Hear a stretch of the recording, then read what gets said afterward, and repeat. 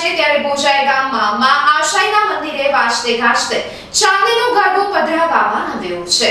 નવરાત્રી શરૂ થઈ ગઈ છે ત્યારે ભોજાઈ ગામના સર્વેયા સમાજના કુળદેવીમાં આશાઈના મંદિરે ચાંદીનો ગરબો પધરાવવામાં આવ્યો હતો. તેના દાતા શ્રી સંઘાર સુરેશભાઈ બેલજી તેમના ઘરેથી વાજતે ગાજતે ગરબાને લઈને માના મંદિરે મૂકવામાં આવ્યો હતો. આનાથી પહેલાં પણ સુરેશભાઈએ માતાજીનું ચાંદીનું આસન ભેટ કરેલ હતું. ગરબાનું વજન દોઢ કિલો છે તથા આરતી શેઠના દાતા શ્રી સંઘાર પર્વત મંગલભાઈએ આપ્યો હતો.